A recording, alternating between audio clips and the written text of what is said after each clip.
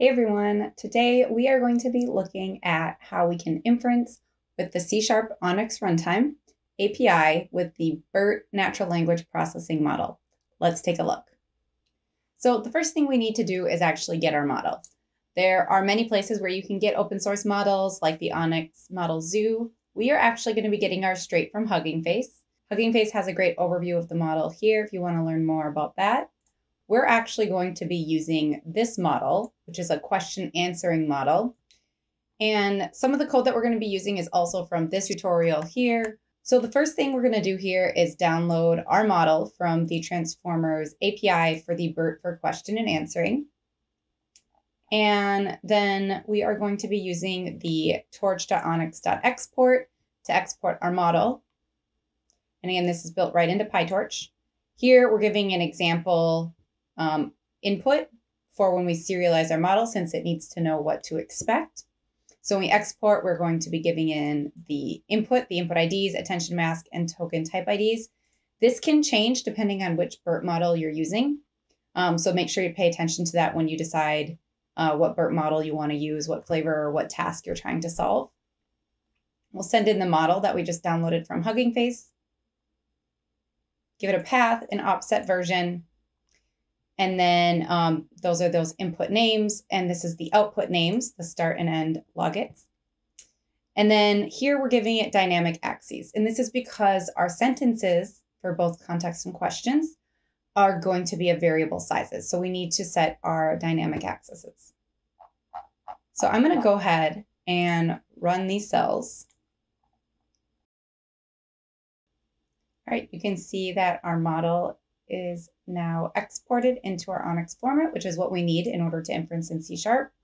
The other thing that's in this notebook is um, the pre-processing and post-processing uh, to run the model with ONNX Runtime in Python as well. And that can be useful because if you want to check what the tokenization is to confirm your tokenization is correct in C Sharp, you could do that. So here you can see we're printing out the input IDs, token type IDs, and attention mask.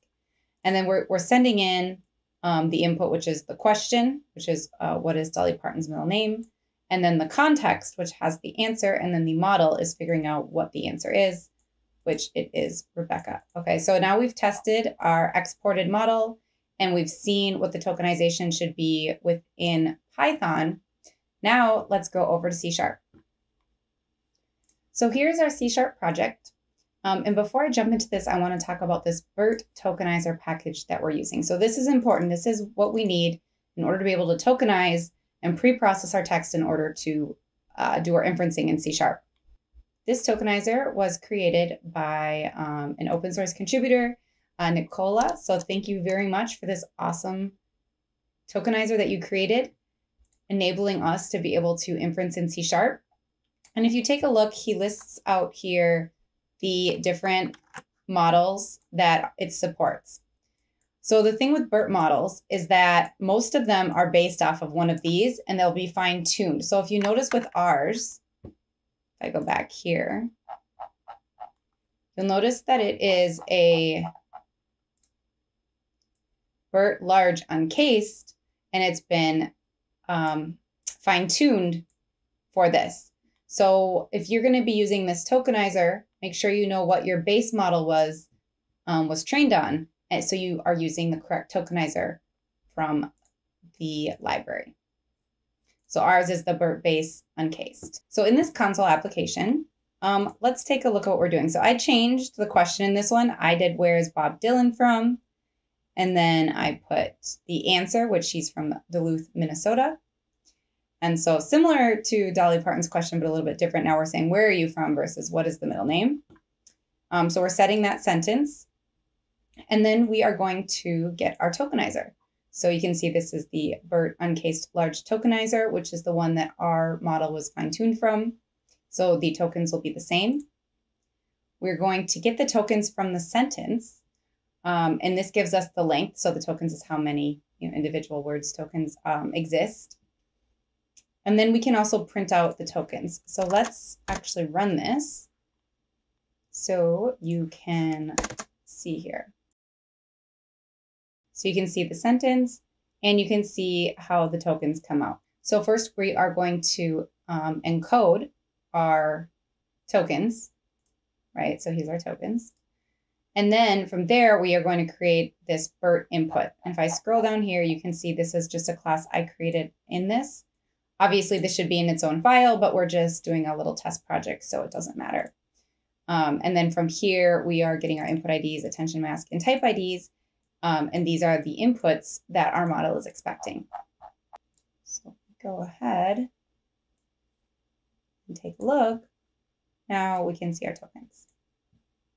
Cool. Now, if we wanted to confirm this tokenization, I know it's correct. You could go back to um, this Python notebook and you could tokenize um, a new, you could put the new sentence here and print out your tokens and confirm that it's the same if you wanted to kind of have a sanity check as you're experimenting. I know that this is already right since I've tested it, but as you're going through, you might want to check and make sure you're using the right tokenizer for your model. So here I'm just grabbing the model we just exported. And then from there, I need to convert to a tensor. So here I'm taking each um, BERT input, right? Those are my input IDs my attention mask, and my type IDs. And then I'm setting, sending them in to my convert to tensor helper method that I created here. So this tensor is part of the ONNX runtime package. So you need to be able to create a tensor and um, put it in the format that the ONNX runtime package is expecting in order to do inference. So that's what we're doing here. We're creating it as a tensor and we're creating it as the right shape um, and then sending back that input in order to do inferencing. So that's the shape that the model is expecting. So if we take a look what that looks like, when we're done, here is what the input is expecting. And if we take a look, oh, I don't think I have it printed out. If you wanted to confirm that this is the same, we could add a print here. So here, if you take a look, you can see that our shape is correct. Great. So you don't obviously have to go back and forth between your Python and your C sharp. I find that easier because you're most likely going to be finding Python um, example code for your model, and then you're just going to be translating that into the C sharp that you need. So um, I find it useful to double check and make sure everything's working the way that I need it to, and making sure that my tokenization and everything matches up.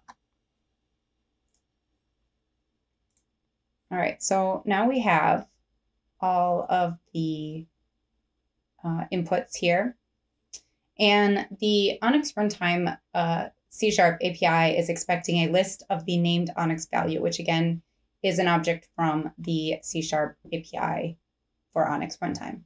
So what we want to do is take the create from tensor, give it what the uh, input actual ID is that it's expecting in the model, and then give it the tensor that we created um, from our data up here. So now we have an input with the label name that it's expecting and the um, values. So the rest of this is very similar to what you would expect from any ONNX inference session.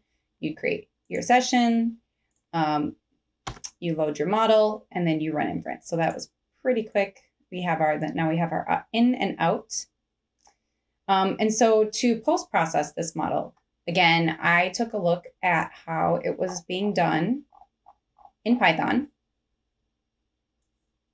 to understand what the results were and what I needed to do with them. So I recreated this in our C Sharp. So first thing I need to do is get a list of the start logits and the end logits. So I'm taking the output, um, putting it to a list, and then grabbing the first output, which is this, and then I'm casting it as um, an enumerable and an IEnumerable, and then creating it as a list to get my result of my, st my start and end list. So if I take a look, I now have inference values for each index that was sent in, each token. And then I want to get the index of the largest start logit and the end. So now I have the beginning and end of my result from the context that was sent in for the question. So these tokens are the original tokens um, from the sentence, right? So we tokenized our sentence. We printed those out. From here, I am using some LINQ to um, skip. So the start index is up padding. And then um, I want to grab the result. I'm actually finding what the ID is. And then from there, getting the vocabulary index. So here, um, we found what the answer was since we gave it the, the question and the context. And from there, it predicts what the answer is. And then we just print out what the predicted tokens are, which is Duluth, comma, Minnesota. And that is correct. So that was a quick example of how we can use a C Sharp console app and Hugging Face to download a pre-trained question answering BERT NLP model, export it to ONNX, use the open source BERT tokenizer, and pre and post process our model in C Sharp and get that result. Be sure to let us know what you think in the comments below, and thanks for hanging out.